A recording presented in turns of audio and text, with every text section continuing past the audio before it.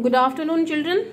So after finishing all the physical features of India, let's come to the political division. Political division means this whole country India whose extent also I have sent you length and breadth of India's location and all.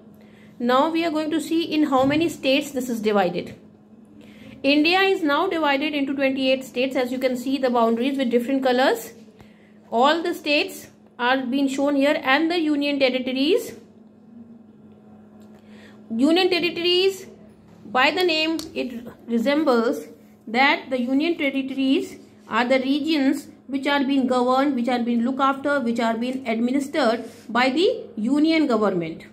It means they don't have any specific state government for them all the rules and regulations are being made by the union government and it has been followed so you will learn the names of all the states with their capitals and also for your benefit please learn the currencies. Currency of india is is rupee and what all currencies of the neighboring countries are more or less from india that is an innovative thing which you will do for your benefit. Let's see the states.